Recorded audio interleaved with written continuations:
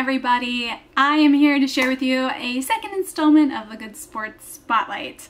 Monique from the UK emailed me the other week and she was telling me about her boyfriend who is a gamer, but he's really into League and Apex online gaming. But he's the one that introduced her to board games. He got her a ticket to Ride Europe and it hooked her. And now she's always wanting to play board games and he is always playing with her, even though he'd probably rather be on the computer. So thank you, Monique, for sharing your story. Um, and thank you, Jake, for being an awesome boyfriend and playing games with, uh, with Monique. So I really think this is a sweet story, and I think that the more um, we thank people for playing games with us, uh, the more they'll be willing to continue.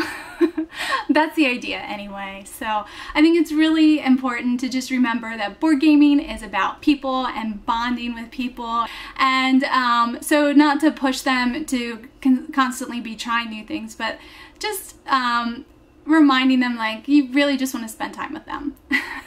so anyway, if you have someone in your life that's always playing games with you and you really appreciate that, go ahead and send me an email and I will put it in a future segment. My email is almostaboardgamer at gmail.com. Thanks for watching the Board Game Breakfast and I hope you guys have a great day.